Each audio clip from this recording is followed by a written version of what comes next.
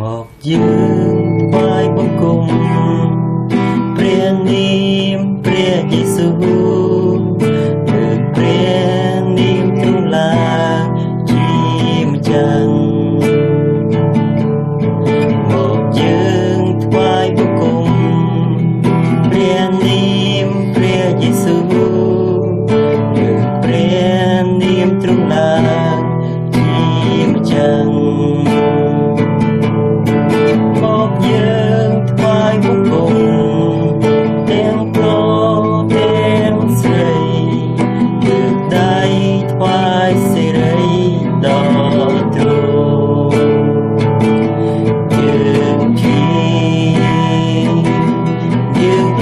ប្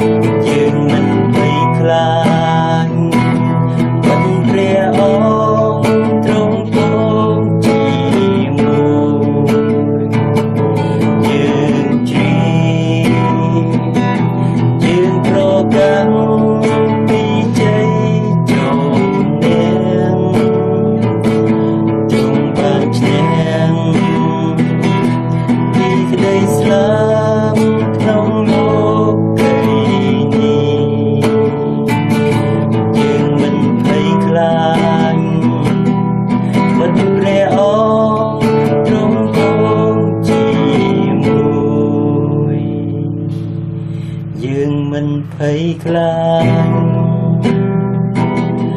មិនព្រះអ